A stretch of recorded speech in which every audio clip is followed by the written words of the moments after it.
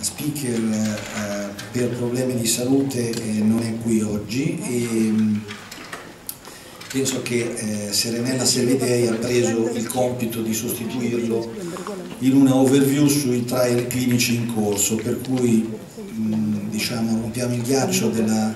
della, sessione pomeridiana che è tutta dedicata a trial clinici e, e approcci terapeutici, eh, iniziando con questa overview di Serenella Servidei.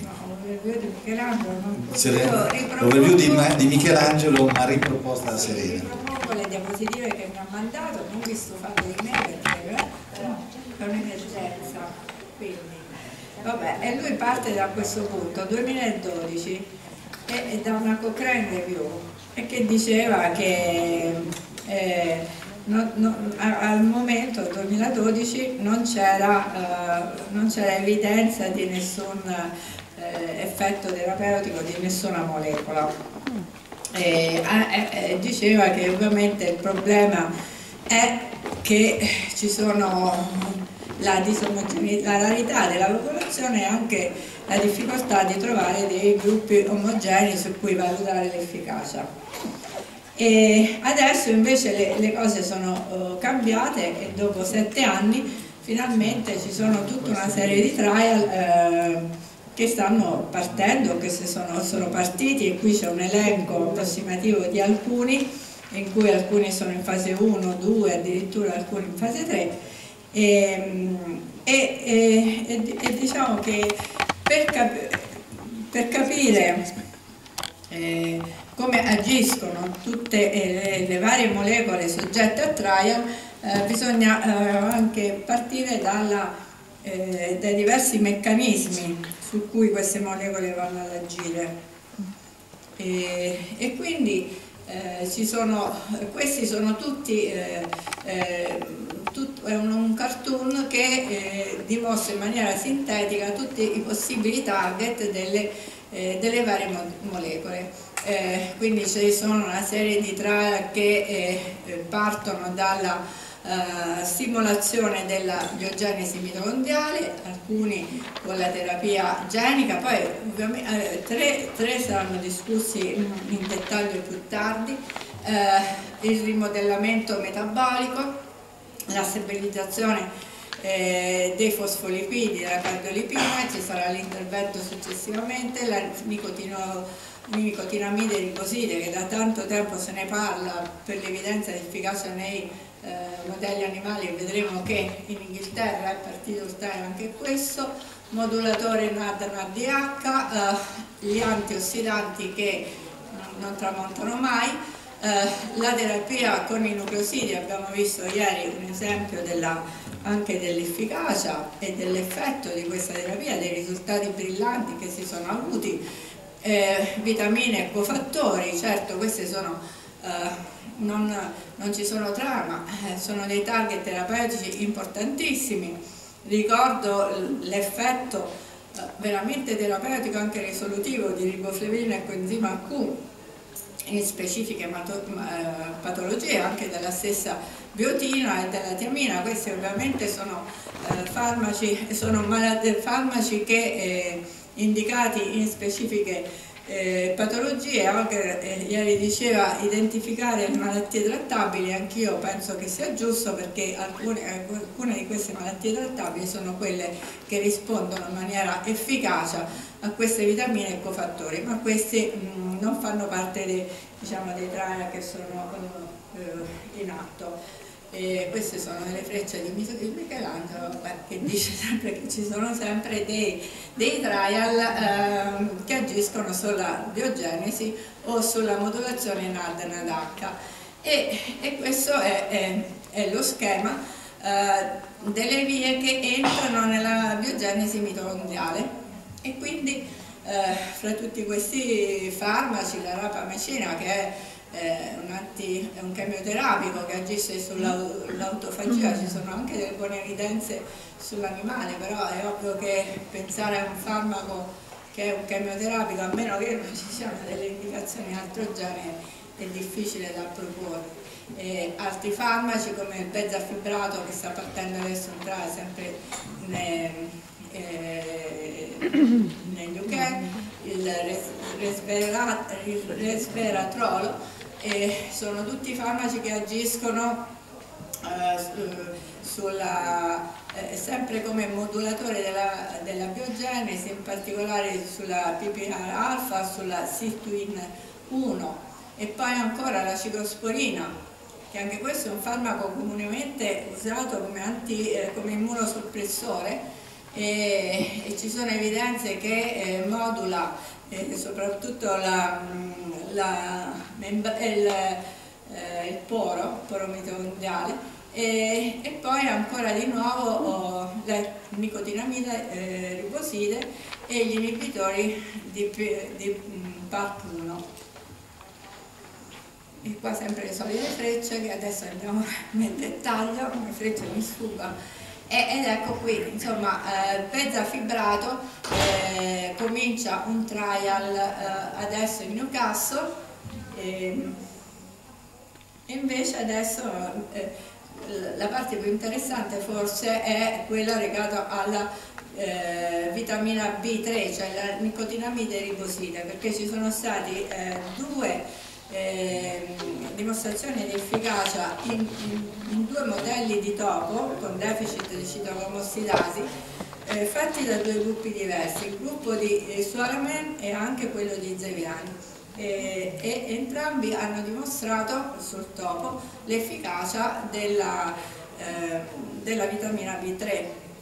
come, eh, come diciamo, precursore del NAD che quindi va a, a a agire sull'equilibrio NAD-NADH. Eh, sapete che nelle patologie mitocondriali c'è un'insufficiente produzione di ATP e un'insufficiente utilizzazione del NAD o, eh, e quindi eh, le due strategie sono o dare un precursore del NAD o ridurre l'utilizzazione del NAD.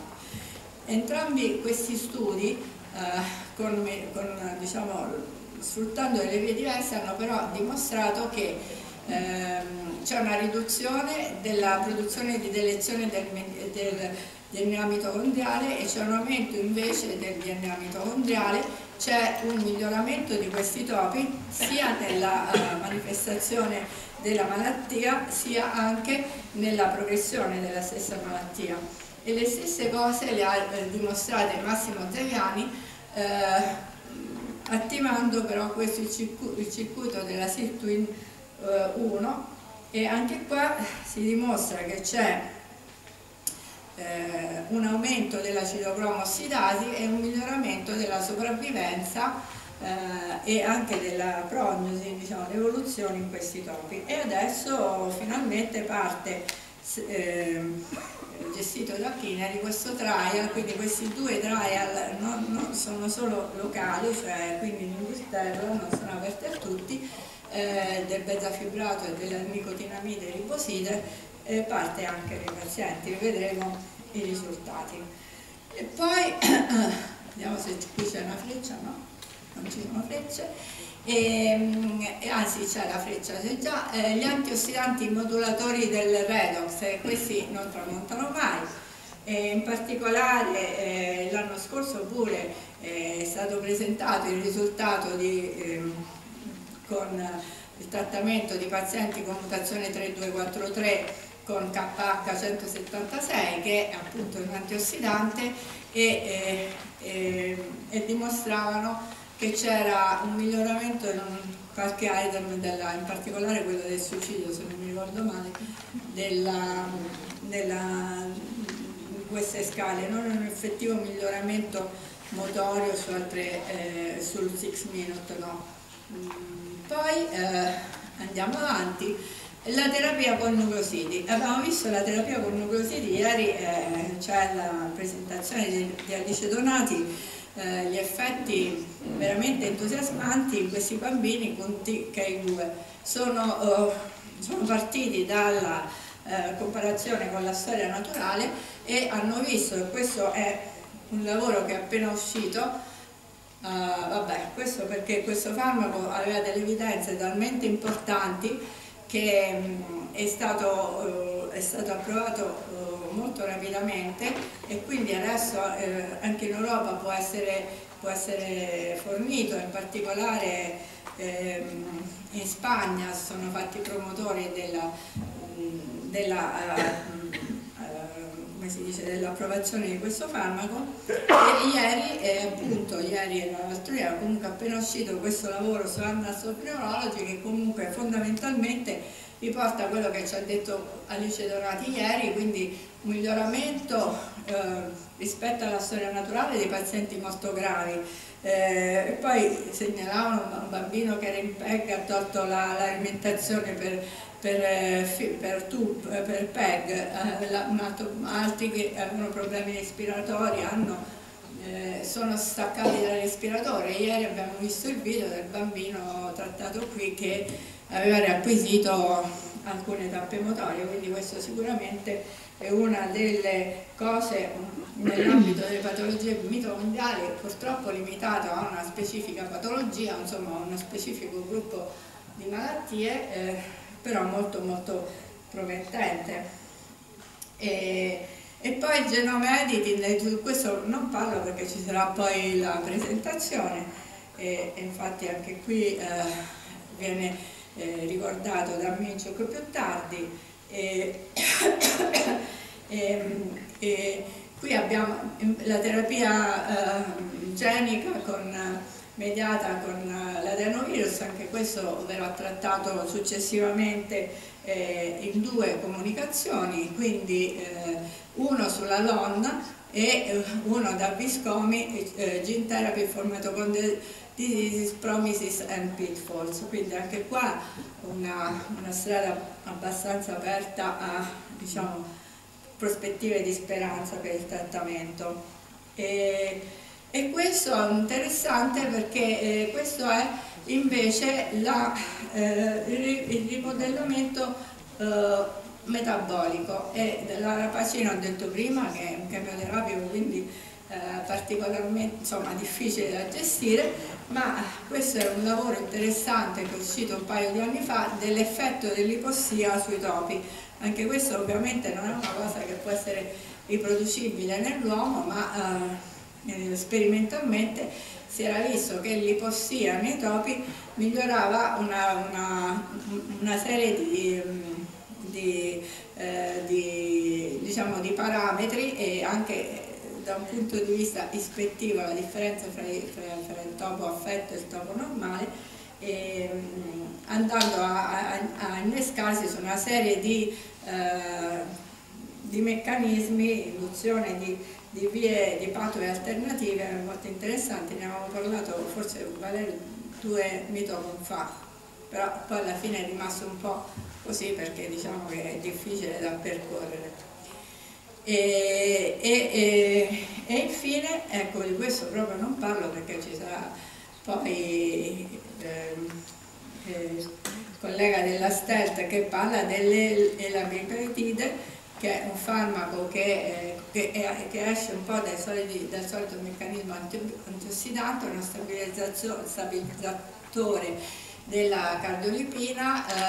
eh, eh, inibisce la, eh, il poro e la mitochondrial permeability transition pore e agisce eh, sulle, eh, sulla produzione di radicali liberi e, e, anche aumenta la sintesi dell'ATP dimostrata in vitro su um, molti organi fra cui cuore, eh, rene, neuroni e eh, muscolo scheletrico.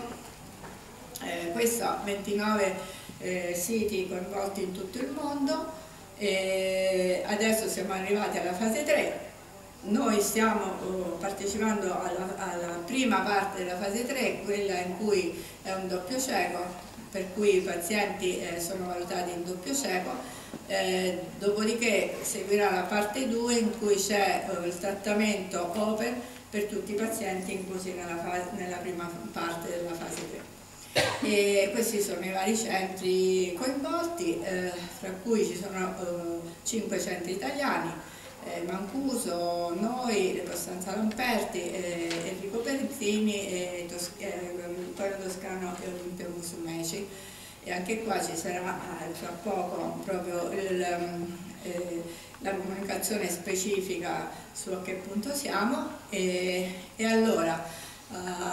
qual è la difficoltà uh, di affrontare un trial per le malattie mitocondriali? Eh, della eterogeneità clinica l'abbiamo vista in abbondanza, l'abbiamo discusso in abbondanza in questi, in questi giorni, del fatto che una stessa mutazione si può associare a differenti fenotipi e, e uno stesso fenotipo a diverse eh, mutazioni, ci sono eh, complessi problemi mh, anche di natura genetica fra cui eh, la uh, eteroplasmia del DNA mitocondriale ma non solo, eh, l'evoluzione di certi fenotipi che con il passare del tempo e l'acquisizione di conoscenze si espandono sempre di più, oggi eh, di Cobertini ce ne hanno fatti vedere due, qui eh, Michelangelo ne menziona in particolare due, l'ARS2 che dalla eh, ipoplasia appunto cerebellare è arrivata a, mh, associata a mutazione RAS2 a uh, gravi e complesse encefalopatie o a ARS2 eh,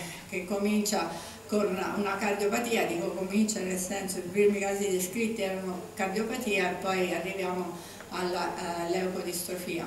Uh, sono patologie multisistemiche, eh, la doppia membrana mitocondriale è inaccessibile a, ai farmaci eh, gli outcome measure sono ancora in parte da validare, c'è stato il, quel convegno eh, sponsorizzato da Mito due anni fa per la validazione di alcune outcome measure nelle eh, patologie però con eh, muscolo prevalentemente affetto e poi anche perché eh, manca la storia naturale, essendo patologie rare, essendo eh, rappresentata da multipli fenotipi, alcuni di questi fenotipi eh, sono limitati a pochissimi pazienti, addirittura ci sono alcuni eh, mutazioni private o geni privati che si identificano in una sola famiglia, in un solo caso, è ovvio che fare eh, una storia naturale di queste patologie è difficile. Per questo è importante la collaborazione internazionale, per questo è importante il coinvolgimento, l'abbiamo detto a più riprese in questi giorni, di, tutti, eh, di tutte le figure coinvolte nel trattamento di queste patologie, quindi medici, tutte le figure multidisciplinari, però anche i pazienti, le associazioni dei pazienti. È importante la, i, i, registri dei pazienti, un linguaggio comune, SPO, ne ha parlato eh, Prokic eh, prima, e, e anche la sfida di un registro globale che possa eh, unire non solo i, i registri nazionali ma un registro globale che quindi utilizzi un linguaggio comune, questa è la sfida sicuramente più difficile, non tanto fare il registro ma eh, determinare e codificare un linguaggio comune. E quindi in, in conclusione eh, sì, noi sappiamo di più, eh, sicuramente siamo molto più avanti, abbiamo fatto vedere, siamo partiti dalla eh, Cochrane Review del 2012, però siamo ancora molto lontani, abbiamo ancora bisogno di sapere di più. E, ehm, e, dobbiamo studi collaborativi, soprattutto per le storie naturali, eh, l'implementazione dei registri eh, nazionali anche nell'ottica eh, di eh, magari averne uno globale e linguaggio comune HPO per tutti i registri se vogliamo fare un registro globale ma anche se persistiamo nella strada dei, dei registri locali eh, essere pronti eh, per i trial quindi con tutte le H measure che devono essere validate e la collaborazione con l'ERN sicuramente adesso uh, facilita queste collaborazioni fra stati e eh, la, eh, la collaborazione con la Mitochondrial Medicine Society che è, è più americana eh, insomma, la, la, collaborazione più globale e trasversale è sicuramente è meglio è. Grazie di avere fatto Gra bene la, diciamo, la lezione. Ottimo lavoro, Serena, non ti preoccupare. E la presentazione è aperta alla discussione, se qualcuno ha qualche osservazione e commento, perché poi in realtà anche entreremo nel dettaglio di qualcuno di questi trial con i rappresentanti delle case farmaceutiche che Io li supportano.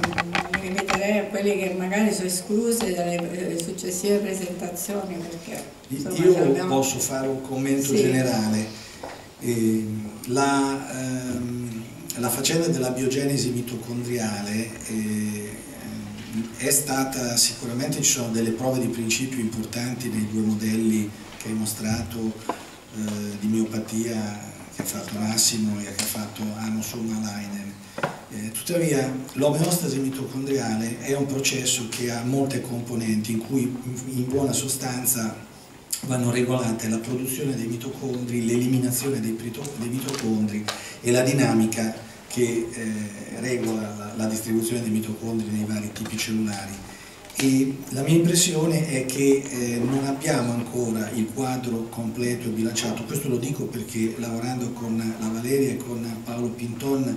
ci siamo imbarcati a cercare di avere un quadro più globale e eh, soprattutto questa strategia non è stata sufficientemente testata nelle malattie con le mutazioni eteroplasmiche del DNA mitocondriale. Sicuramente vale la pena di intraprendere dei trial con farmaci in cui il profilo di safety è, è- è ben noto, per cui non stiamo rischiando molto, ma secondo me ci vuole ancora un pochettino di strada per capire bene. Infatti dicevo, la rapamaci- la rapamicina non è certo una, percorribile, mentre la nicotinamide riposina È molto più è facile. una vitamina e quindi non, non ha tutti i suoi danni. E circa l'ipossia, visto che hai fatto un accenno, è curioso perché a una delle primissime riunioni mito con agli albori eravamo tutti qua a discutere se dare l'ossigeno ai pazienti e tutti dicevamo no, e adesso pare che faccia bene il contrario. No, no, l'ipossia fa bene anche perché induce delle cose. L'ipossia. Sì. Ma noi stavamo discutendo se fare la camera iperbarica. Ah no, no, no, è quello, è quello il punto. più, È, è- è una roba di il 5, 6, 7 anni fa, Eh, Piero lo può testimoniare. L'ho, l'ho cancellato dalla memoria, mi ricordo quando ne abbiamo parlato. Perché ci siamo opposti fieramente all'idea. Lì, dare l'ossigeno al paziente mitocondriale se non sappiamo quali sono le sue capacità respiratorie già clinicamente non va dato perché può inibire banalmente lo stimolo respiratorio, quindi già così. Poi queste cose ci dicono che forse